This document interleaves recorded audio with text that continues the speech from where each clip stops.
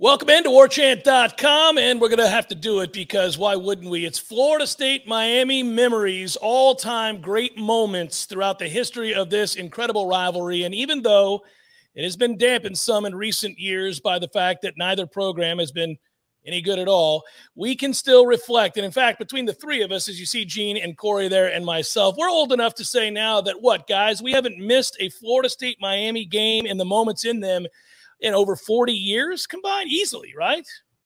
Yeah, I mean, my first one was 1984, 38 to 3. Um, uh, and, and yeah, I've been kind of, I've been watching all the games since, and I've been to probably 95% of them since then. So a lot of heartache and a lot of great moments too, as we'll see in this video. Yeah, mine's 1982, and Florida State wins that game 24 to seven, and that's a long time ago. So 82 for me, and Gene, you're the oldest of the yeah, bunch. But I'm still 84. I mean, that was still that was my freshman year, so that was uh that was my first one too. So, so we're yeah. old, but we yeah. have. I'd like to think we have wisdom and perspective is what you need is what you need to understand. And right about now, you need every bit of that perspective.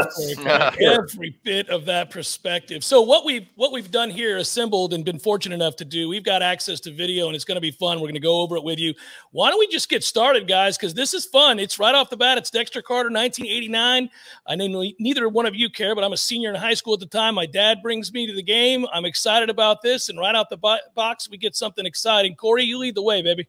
Yeah, so the context is that Florida, Florida State had lost two national championships the previous two years because of Miami. Yes. One was a two point conversion, one was a blowout. But either way, Miami cost Florida State a championship in 87 and 88. So 89 comes around. They're number one in the country. Their quarterback is out. So they got to they got to start this fresh faced kid named Gino in the very first play of the game. And that that's probably as loud as I've ever heard that stadium consistently, even though it was 20,000 seats less than it is now because people were so riled up because of what had happened the previous two years.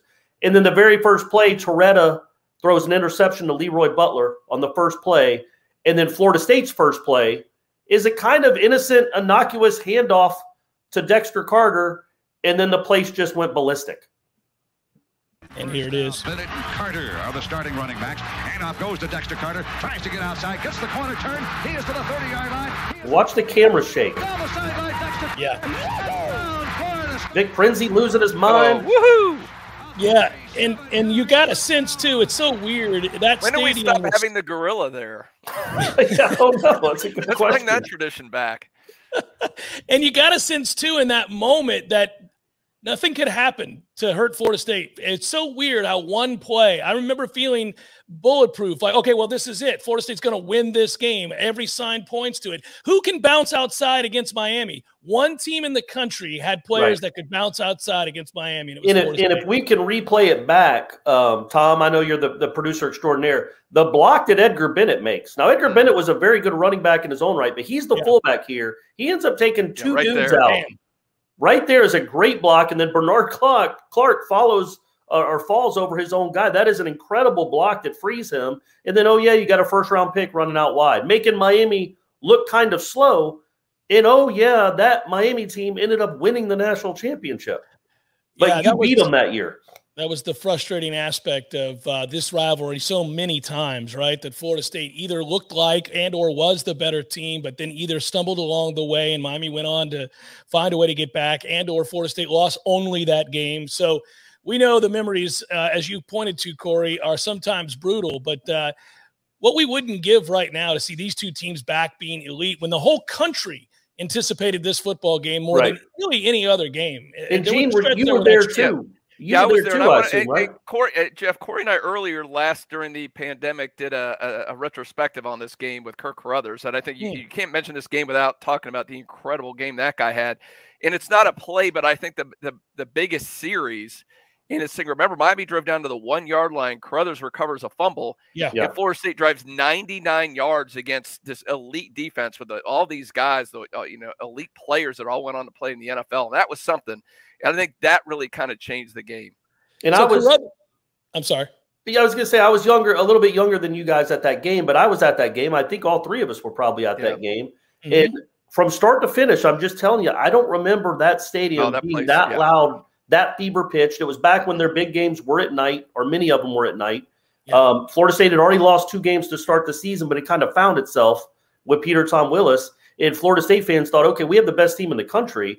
We just happen to lose those first two games, one to Brett Favre. And then this game kind of proved it. At the end of the year, Florida State was probably the best team in the country. Um, and a lot of it had to do with, well, with Dexter Carter and Edgar Bennett and PT. But that drive, I remember, Gene, because it was Bowden back in the day.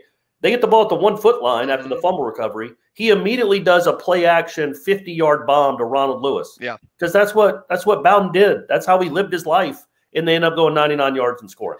That was something. And that was probably that one game, of my Go ahead, you, Jeff. You mentioned how good Carruthers was in that game. Do I have it? Do, does memory serve? That was two interceptions in that game, right? Is that right? I, he Correct. at least had one. He also had the fumble I think recovery. He had two in the fumble recovery, and he had about yeah. 15 tackles. Yeah. I think he got like the national player of the week for his performance in that game. And I, also, you guys, I mean, yeah, that was probably my that and the choke and doke are probably my two favorite home games in FSU history. But the thing about that game, and Corey, you guys remember this being in there, it was electric from the minute that opening kickoff to the end. You stood the entire game. That place was loud as heck. It never let up. And what was neat, that was that you had those two losses, but the week before you beat number 11 Auburn the week right. before. So what a great couple weeks in a row in Doak Campbell Stadium to live that life.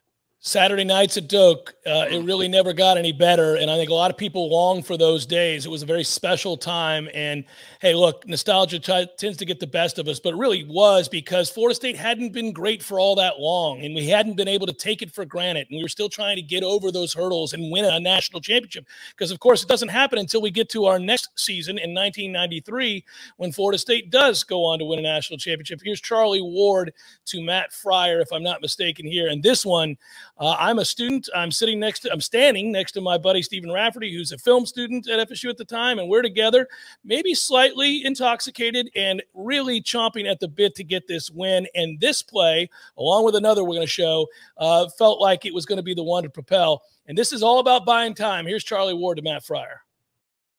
Out of the shotgun, third down and about 10. Ward getting some pressure. Warren Sapp chasing him. Gets it away. He's got Frier wide open.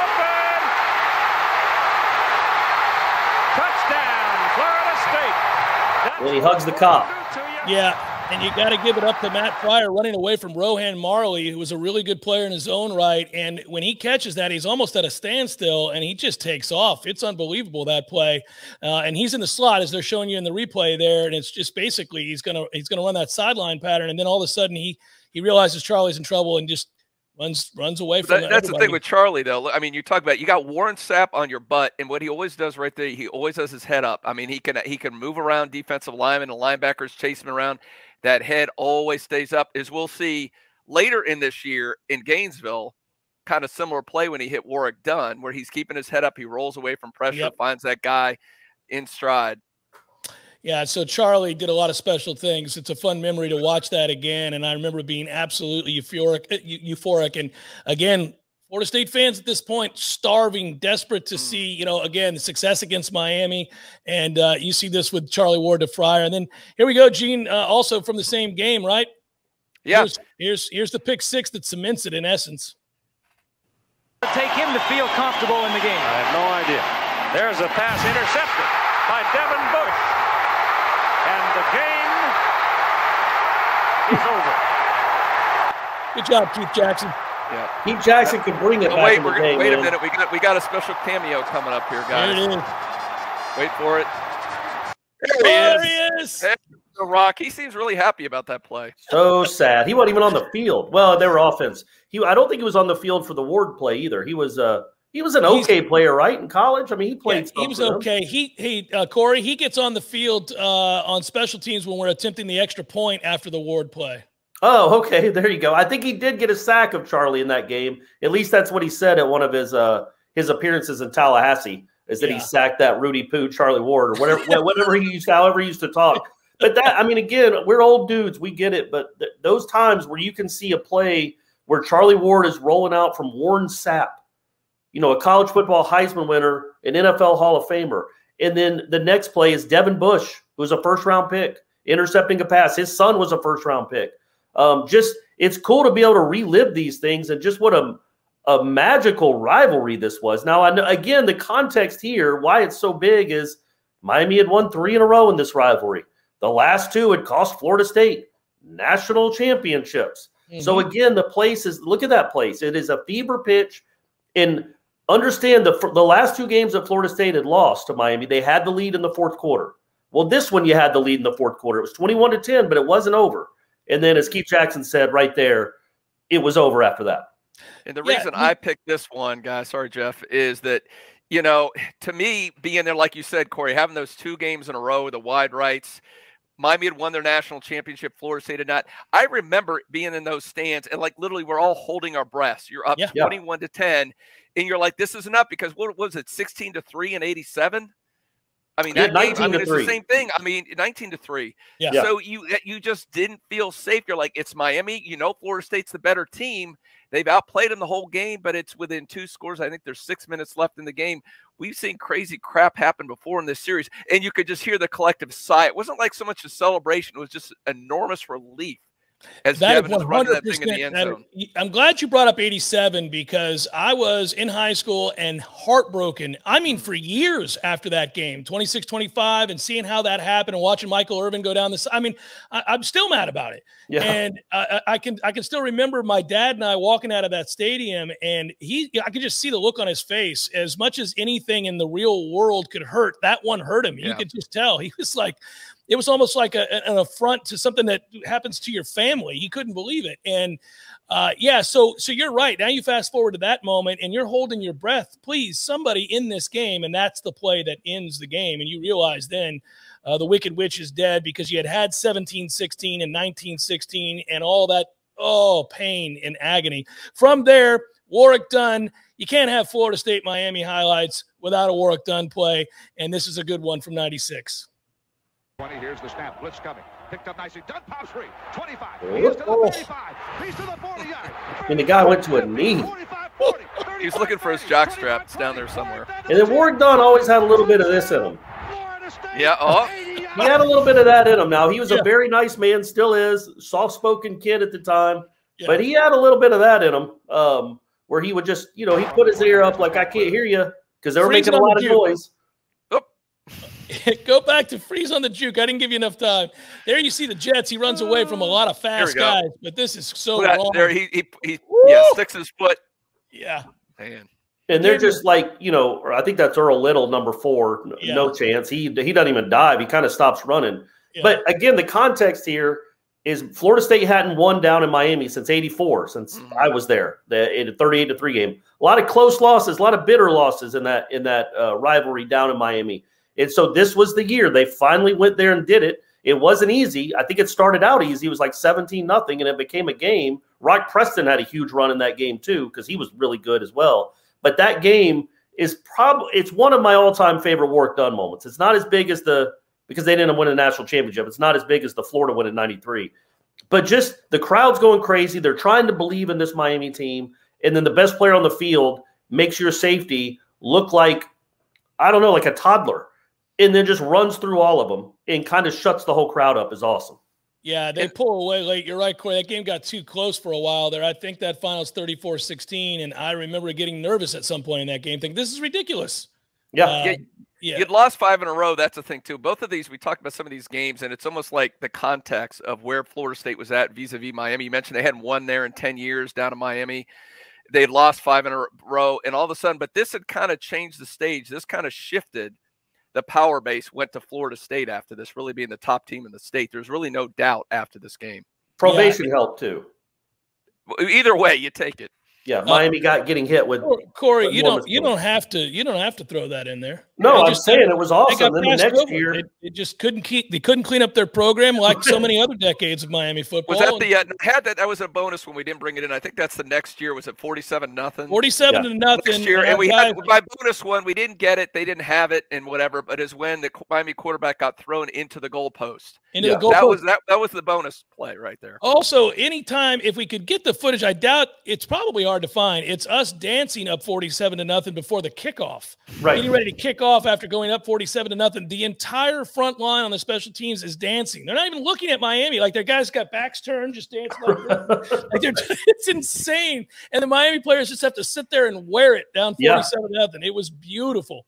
Uh, now we move ahead to a game that actually Florida State loses, but this is a game that in, in in the lore of great players, this is the hit, right? This is the guy. This is the greatest hit. Marvin Jones this picture this freeze picture, this frozen moment in time where he crushes Larry Jones, is in a lot of garages, including mine or man caves all around the country. If you're a Nole, here you go. The first half, Miami has all three timeout. Second down, 11 from the 20. Torretta. Oh. Oh. That is indeed a greeting for Larry Jones. uh, This oh, is Keith, a play Keith was good. in- Indeed, a greeting for Larry Yeah. Jones. Th- And by the way, I love that Keith Jackson's not alarmed by the hit because this is men. These are men playing football, and this is the Oh, nowadays, what would happen, played. Jeff? If that was in Oh. a primetime game, what happens? I mean, He's oh, ejected. Everybody him out. Screamed. Yeah, dirty player. five yellows come in quick. Everybody's just shocked and saddened. How could you do that? But this is how you play the game. And actually, I think it's shoulder pad here. Let's let's double check. Oh, that's a beautiful Yeah. hit. Look at Yeah. that. Perfect. Perfect. I don't Oh, think he hits him with the helmet at all. He doesn't hit him with the helmet, but they would have called a penalty on that. They would have somehow Sure. said he was defenseless. Yeah. Well, he was thanks to his quarterback. You think Larry Jones went back to Gino and was like, "Come on, man, really?" But I you mean- didn't see 55? Like what what what was your key there to think that I was about to be out in the open? By the way, 55 is a Heisman candidate, guys. it's like he's the best player on the field. He's awesome. got- He's always been awesome since he got here. What are you doing to me for a oh, four yard game? And we, we Yeah. would be remiss if we did not bring up Derek Erickson's quote.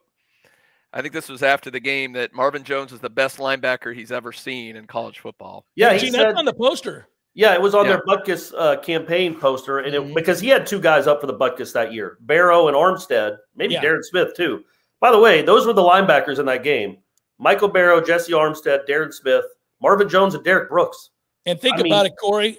Patrick and, and the other guy was it Crine. The two ends for Miami that day were the best two players for them. Uh, they wreaked havoc in Yeah. that game. Charlie couldn't get away from him. Yeah, and then for Florida State, if you remember, as much as I love Marvin and he's my favorite player in Florida State history, um, it- it's it's Simpson. Carl Simpson went nuts in that game Yeah. for Florida State. They couldn't block him, and Yeah. uh, it's just an indicator when you've got guys that get drafted in the first two rounds or dominate or all Americans. And, and it's funny, you're thinking to yourself, well, Marvin makes that play, but here are four players that all went to the league, all drafted, all incredible players in their own right. Really, it was at every single position back then. Oh, Marvin, if you just would have come back one more year, Hmm. that last I at 93. I know they won the national championship. You could have had Cowart Brooks and Jones back there together. How Yeah, they sick- probably that beat Notre Dame. linebacker corps of all time. They, they, yeah, they beat Notre I think Dame. they probably Marvin beat out Notre there. Dame. But yeah, the, the Dennis Erickson quote was something about like because Marvin was great as a freshman in 90. Yeah. And he's like, look, Marvin Jones was six foot, he was like 6'2, 215 pounds, and the best player on the field. Now he's 6'2, 245, and he's faster. Yeah. And he's better. Like he just he couldn't believe how good Marvin Jones was. And Marvin Jones rightfully won the uh, won the Butkus. I think he won the Lombardi. And he was, I think, finished fourth in the Heisman voting. A middle linebacker Yeah. with no like huge pick six touchdown plays, just being awesome. He finished fourth in the Heisman voting. Trying to scheme around him must have been impossible because he could go sideline to sideline. He's big enough to fill. He could You cover. couldn't block He him. And Yeah, every time did- he hit you, you went down. Did you ever see anybody break a tackle from him? No, and he had hands that were the size of Texas. I mean, I've shook those hands before, and it's embarrassing. You feel like a child when he engulfs your hand. It's I figured you would have kneeled down and kissed his hand. I, I would have liked to. I actually ran into Marvin at a Florida State Miami game a few years back down in Miami, and he was hmm. He was still big, still looked like he could play, still looked like a giant. It was unbelievable. Well, we have to show Miami missing a field goal before we round this Yes. out, and we could have kept going, guys. They're highlights for days, but uh, one last thing here to circle back. I remember walking into the stadium uh, before the start of the 92 season for Florida State first home game. And remember, you used to be able to get those silly shirts that always chided the opponent and all that other stuff. But I just bought a very simple shirt. It was a picture of Marvin Jones and it was the back of Marvin Jones. And you just saw it in the back of his shirt and it said, just try to keep up with the Joneses. I think I still have I that, had that shirt. same shirt, Jeff. It's a great shirt, man. I miss him. Uh, all right. Miami missing a field goal. This is 2005. We have had way too many issues on special teams over the years against Miami, to say the least. So this felt like sweet justice. No.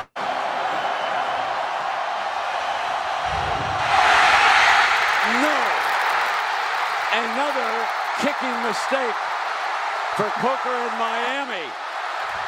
Can this be the Noles year? The kicking game is finally. This is Jeff's favorite part. Ball is low. The kicker should have still tried to kick it. he just By the flies way- in there, kicks somebody in the helmet. Couple things. That kid, number 39, is the punter. Um, and he had been, I believe, at Florida State's camp, and they kicked him out. Oh, If I if I, I didn't recall, remember that. If What I, did he get kicked out for? He he was secretly trying to recruit for Miami. Oh man, he was Wow. dropping snaps. good and for he him. was- He, he kept dropping snaps. Like, get out of our camp, man. If I remember that correctly, that's true. Also, I was on the roof for this game, and I remember how uh, the noise rising up. That back then, I was on the roof for every game, and, and you know, I can still remember that. That was uh, good times and uh, sweet revenge there. There's a nice man in Larry Coker, who's, uh, I mean, if we, is Larry Coker alive? Does anybody know how Larry's doing? I think think he's he is. Alive. You never see Larry Coker's. my You boy. don't, When no. was the last time you saw Larry Coker? It's been Not a a minute. great This coach. was the last nice time. guy. Yeah. But yeah, th- to me, th- this was another one of those. Man, this was some. It was just such relief. You'd lost. I think the six in a row. It was the longest streak, losing streak to Miami in the series, and then for them to lose in this poetic way, uh, the irony of it, of all the cooking woes, kicking Yeah. woes, and then I think the thing too, and I think Tom's got the still shot. I remember this because covering the team at the time. And I got to know David Castillo, even going back to high school, covered the Georgia Florida All Star game. Really good guy. He's a doctor here in town. For him, I remember at the end of the game, as the clock ran out, here he is pu- pulling the Bjorn Borg pose, you know, as this Yeah. game, because he was going to become the only player in NCAA history to Six lose to the same team seven times. Evan. Seven because they played in a bowl game that they Right. lost to Miami twice that one year. So he would have had seven losses against Miami, and that's his hometown team. You just see the relief. I remember on the field seeing him going, "Man, I feel good. I feel so good for this guy. Such a good guy. He deserves this. A guy that played with a had a fractured foot at one point. Half his fingers are broke, and he's he was a baller. Well, and it was it was it wasn't just they had lost whatever it was six times in a row. You know, three of them were directly from field goals. Like Yes. you missed the one in 2000, you missed the one in 02 where the Jester kid dancing or prancing around Beitia, Oh, and then in Screw him 03, eternally. 03 Beitia missed again in the in the bowl game to give them a lead. Now it wasn't a last second one, but it was with a few minutes left, and of course he missed that one too. So for them, and you saw that's why that crowd, like always, crowds are going nuts when the, when it's a game tying field goal on the line. But that's why the crowd was like that for that moment because it had been years of heartache with special teams, not just 91 and 92, but recent losses Mhm. because of special teams. And the place is going nuts. You've actually got a chance to win. You put up all of, I don't know, 100 yards of offense, 87 yards of offense, and you're going to win the game if this kid misses the field goal. Well, I think Weatherford had 77 yards passing in that game. That's how bad. it was. Also, uh, you mentioned that we play Miami in the bowl game down in the Orange Bowl uh, again, the, the rematch, um, and lose 16 14. We could have taken a highlight from that game because that's Greg Jones oh yeah, that was a good one. And just runs his ass over like he's a child. It's a thing of beauty. Well, and there, watching that's the the problem is there are a lot of highlights from losses, like Vanover's Yeah. return. Stanford the- Samuels doing the old Stanford uh, Samuels hit was an incredible hit. Uh, the throwback in '86 from Keith Ross to Dexter Carter, a hundred-yard kick return, which Yeah. is just an incredible play. But they lost all those games. But the Um, rivalry, you know, Miami fans could sit here and remember some tough losses too. Obviously, we've been on the wrong side too many times.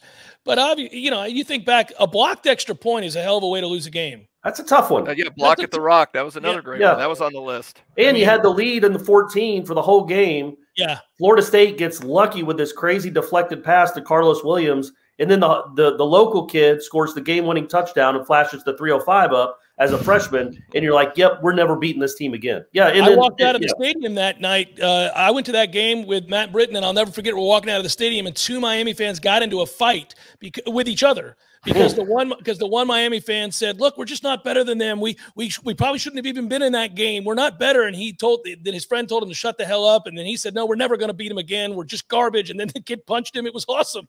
Okay, good. It's good to see nice. That's families turning on each other. And if Jamar Forson catches the uh, the play the next uh, year, maybe they do never beat Florida State. That's true. But I don't know why I had to end on that note. That's not Yeah, good. We're not going to end on that note. we just want you to know at one time this was the best rivalry and rivalry in all of sports. And Hmm. uh, someday it may be again. If not, it'll be very one-sided Florida State over Miami because we believe in our ability to come back. There's not so much, although we're decided underdogs going into this game. Uh, we wanted to share some moments from three old guys who've seen a lot of them between Florida State and Miami, and all of them, even the pain, uh, it brings back fond memories. I think we agree. I mean, moments of time where we were with people we loved, uh, when we were students, when we were with friends, when we were with parents. So it uh, it's fun to look back. Well said, Jeff. Yeah, well time, said, buddy. Thank you're you, right. Dad. Part part of this is just me being with, fa- like you mentioned, you're with your buddy. You remember from school, standing Yeah. next to him. I remember sitting with my best friend, you know, during that '89 game and all that. So yeah, you're right. It's so much of it is about the memories. Let's hope the rivalry becomes intense and focused and uh, for high stakes yet again at some point. But in the interim, we hope you enjoyed this. Tom Lang, great job producing it. For Corey Clark, for Gene Williams, I'm Jeff Cameron. Go Noles. We'll talk to you next time on War Chant TV.